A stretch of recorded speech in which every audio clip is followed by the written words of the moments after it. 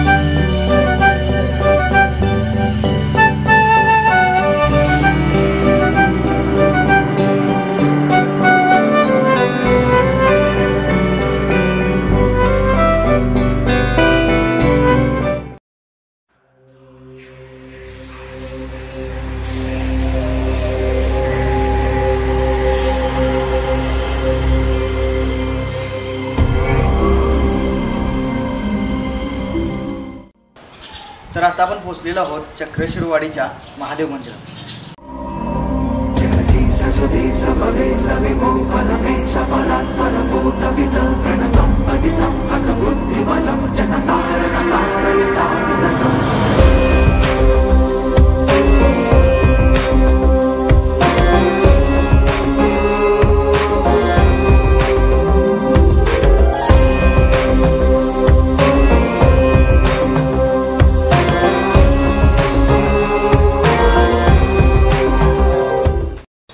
मंदिरात जाण्यापूर्वी आपल्याला एक इथं छोटंसं मंदिर दिसतं आहे. तर या मंदिरात महालक्ष्मी महासरस्वती महाकाली यांच्या मूर्त्या पाहायला मिळतात. त्याचबरोबर या ठिकाणी सप्तमातृका कालिका देवी वीरभद्र अशाही मूर्त्या आत आहे त्याचबरोबर या ठिकाणी या मंदिरात एक विरगळही पाहायला मिळते.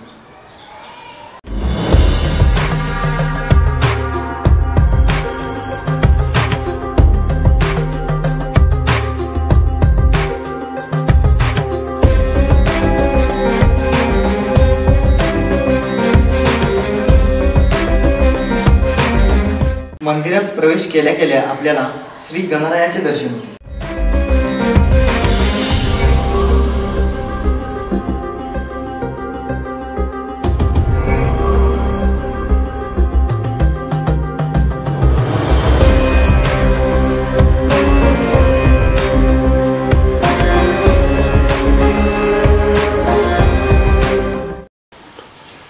तर हा आहे मंदिराचा मध्यमंडप.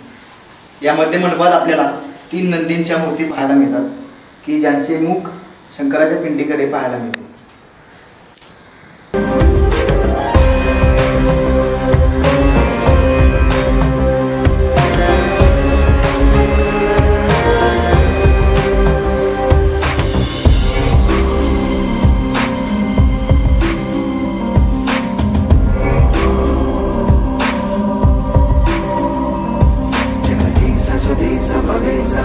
परमेशबलात्परभूतमिदं प्रणतं भगितं हतबुद्धिबलं जनतारणतारयतापितम्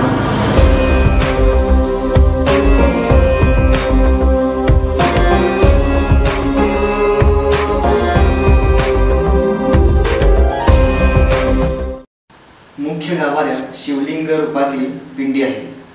त्याचबरोबर या ठिकाणी पितळी मुखवटेही पाहायला मिळतात की ज्याच्यावर नागमूर्ती पाहायला मिळतात. मंदिराच्या अंतराळ मंडपात आपल्याला तुळजाभवानीचे शिल्प पाहायला मिळते.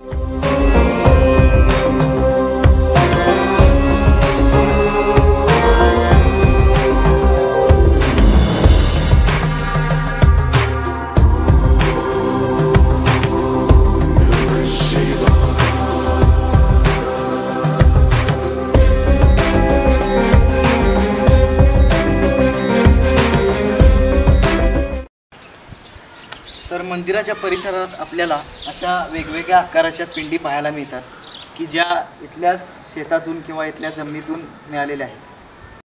तर या ठिकाणी एक आपल्याला विरगय दिसली आहे. तर ही विरगय सध्या तरी भग्न अशा स्वरूपात आहे. विरगय म्हणजेच ज्या ठिकाणी लढायांमध्ये वीरांना मरण आलेलं असतं त्या ठिकाणी समाधी न बांधता अशा प्रकारची शिल्पकला सादर केली जाते. त्यालाच विरगय असे म्हणतात. तर विरगय ही शक्यतो तीन टप्प्यांमध्ये असते. या ठिकाणी हा भग्न अवशेष आपल्याला पाहायला मिळतो की ज्यामध्ये सर्वात शेवटच्या थराला त्या योद्ध्याचे युद्धशिल्प कोरलेले असते. त्यानंतर मध्य कालखंडात किंवा मध्य टप्प्यात आपल्याला त्या ठिकाणी स्वर्गातील देवदेवता येऊन त्या योद्ध्याला नेतात असं शिल्प असतं. आणि तिसऱ्या टप्प्यामध्ये त्या वीराचा शिवपूजा या स्वरूपातील शिल्प कोरलेले असते. तर या विरगईच्या पलीकडेच आपल्याला या ठिकाणी एक शिलालेख पाहायला मिळतो.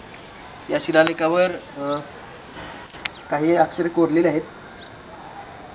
तर या शिलालेखानुसार या मंदिराची निर्मिती तरी चौदाव्या शतकात झाली असावी असे म्हणतात. तर मित्रांनो या शिलालेखाचं वैशिष्ट्य म्हणजे चंद्र आणि सूर्याची साक्ष ठेवून हा शिलालेख कोरलेला आहे. याचा पुरावा म्हणजे या ठिकाणी चंद्र आणि सूर्य अशा प्रकारे कोरलेले आहेत.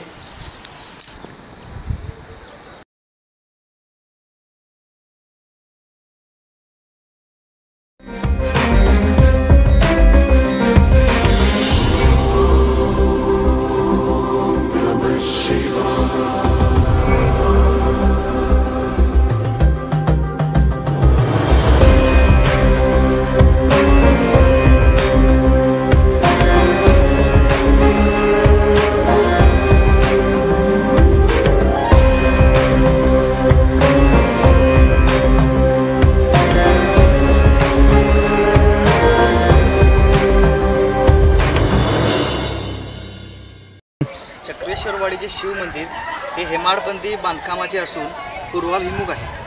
या मंदिराच्या समोरच एक आपल्याला दीपमाळ पाहायला मिळते. त्याचबरोबर उजव्या बाजूला एक गायबीचा दर्गाही आहे.